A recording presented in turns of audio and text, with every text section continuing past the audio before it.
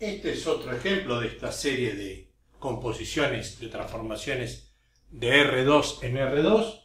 Acá me dicen que la primera debe ser una simetría respecto del eje X, vamos a llamarla S, de R2 en R2, y la segunda es una dilatación. Bueno, vamos a ver qué pasa con la simetría respecto del eje X, de este eje. Yo tengo acá la base canónica, el 1, 0 y el 0, 1, y voy a buscar los simétricos de S. La simetría, su matriz, otra vez, la matriz de la simetría será el simétrico de 1, 0 puesto como columna y el simétrico de 0, 1. ¿Mm? A ver. Simétrico del 1, 0 respecto del eje X. Es como la imagen en el espejo, pero si el espejo está acá, el simétrico coincide con este. O sea, su transformado coincide. ¿Mm? Muy bien. Quiere decir que esto es 1, 0. En cambio, el simétrico de esto, rebatiendo esto, haciendo girar el plano, el semiplano, según este eje y abatiéndolo sobre este otro, me va a quedar un vector hacia abajo que va a ser 0 menos 1. ¿Sí? O sea, este viene a parar acá. Conclusión, este sería 0 menos 1.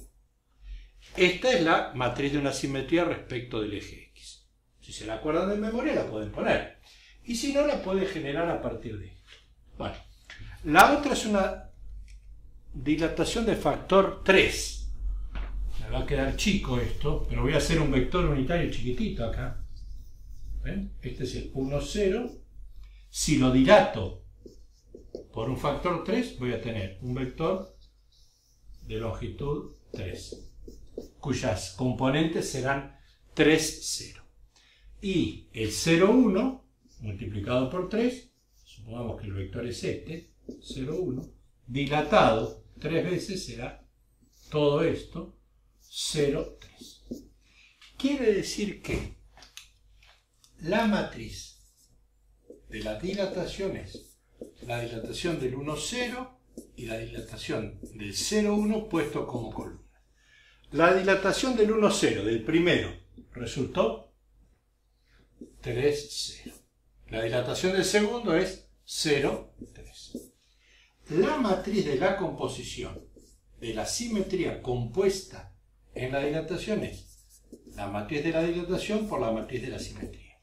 Hay que multiplicar esta primero, 3, 0, 0, 3, por 0, 0, 0 menos 1. Y esto me da Voy a usar un poquito de álgebra de matrices. Puedo hacer esto. Pero fíjense, voy a sacar este 3 como un escalar. 3 por 1, 0, 0, 1, la matriz identidad, por 0, 0, 0 menos 1. Este producto de la identidad por esto, ¿qué me da? Esta, porque esta es la identidad. O sea, me queda 3 por 0, 0, 0 menos 1. Multiplico este escalar por esta matriz y me queda 0, 0, 0 menos 3. Viéndolo así, yo podría decir que esto coincide con la matriz de la dilatación compuesta en la simetría. O sea que si yo cambio el orden de estos dos, me da lo mismo. Si quieren, podríamos hacer la prueba. ¿Sí? Vamos a hacerlo, nada más que como un ejercicio para habituarnos a esto. Yo lo voy a hacer Voy a hacer primero la dilatación y después la simetría. ¿Sí? Acuérdense que este va primero. Muy bien. Tengo un vector unitario acá.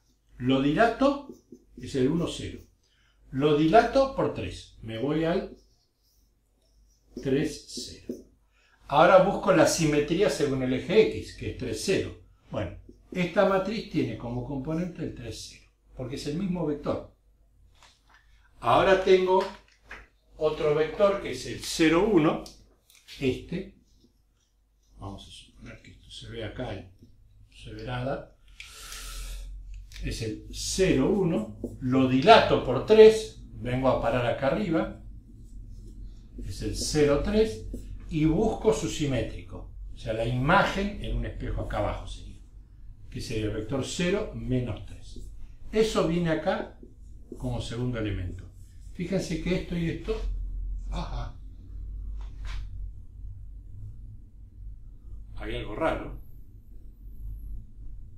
No da. Acá me olvidé, acá está mal. ¿Ven que no me coincide este con este? Si miro esto, copié mal esta. ¿eh? Menos mal que lo verifiqué.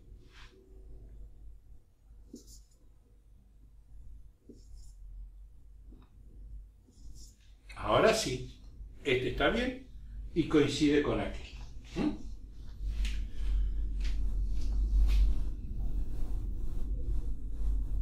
Siempre viene bien tratar de resolver las cosas de dos maneras diferentes.